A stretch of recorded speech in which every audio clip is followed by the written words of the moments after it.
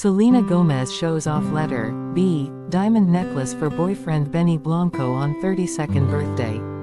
On Monday, July 22, the singer-actress shared a few photos from her special festivities on Instagram. In one snap, she models a yellow baby doll dress while posing underneath a Happy Birthday Selena balloon arrangement, with palm trees, sand and miles of blue water making up the background.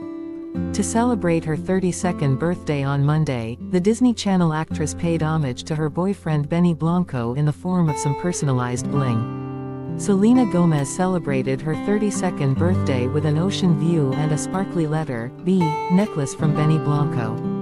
In a new Instagram post, Gomez shows off her romantic accessory, a silver charm around her neck that boasts her boyfriend's initial.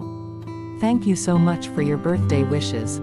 She captioned the post. I'm very grateful and always thankful, 32. Blanco commented, borrowing a lyric from Jay-Z's public service announcement, I got the hottest chick in the game wearing my chain. Blanco, 36, took notice, commenting his approval, I got the hottest chick in the game wearing my chain, he said, quoting Jay-Z. Friends and fans flocked to the comments as well, including Wizards of Waverly Place co-star David Henrie and stylist Erin Walsh. Sophia Roe, who appeared on an episode of Selena Plus Chef, showed her support, writing, Happiest birthday princess. You deserve every ounce of all this happiness. We love to see this love. Heart.